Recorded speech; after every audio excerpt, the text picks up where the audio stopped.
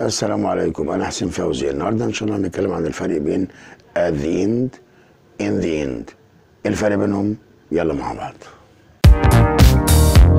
at the end of. دي معناها في نهاية مكان أو زمن أو قصة أو فيلم أو مسرحية أو خطاب إلى آخره. at the last point of something. ودايما بعدها بيجي off وبعدها دايما بتيجي اسم. يعني لو خدنا examples أمثلة there is a pharmacy at the end of the street. يعني في صيدلية في نهاية الشارع. لاحظوا كده؟ at the end of بعدها اسم اللي هو street. In the end دي معناها at last أو finally ودي معناها أخيرا أو في النهاية بعد مناقشة وبعد مجهود. دي المعنى بتاعها.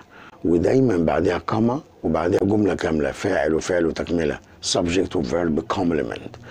He worked hard and in the end he succeeded. يعني هو اشتغل بجد وعمل بجد وفي النهاية هو نجح.